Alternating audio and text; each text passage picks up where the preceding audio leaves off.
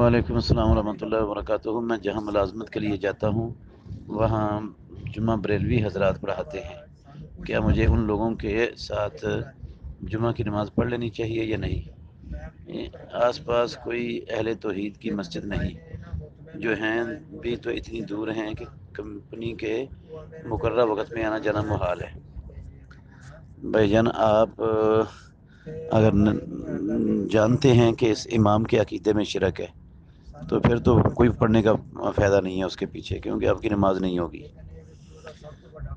اگر نہیں پتہ تو آپ پڑھ لیں، اس کا عقیدہ شرکیہ ہے یا نہیں ہے، پھر ہو جائے گی آپ کی انشاءاللہ۔